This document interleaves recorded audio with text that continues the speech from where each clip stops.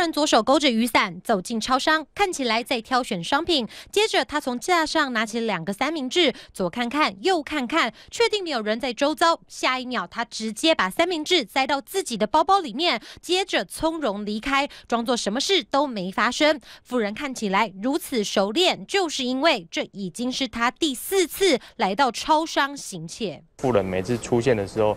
都会戴着口罩、拿着雨伞以及背着车背包在店内巡视多次，然后才会离开，所以店家才会对这个老妇人装扮去做提高警觉的动作。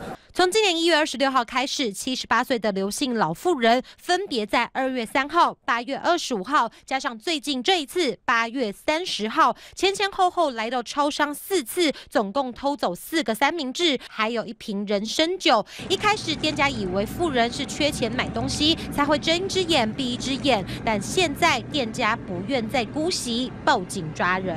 看他年纪比较大，所以都没有报报警处理。那这一次是因为这个老。妇人已经多次前来他们超商，持续的去偷食物离开，所以这一次才通报我们警方到场处理。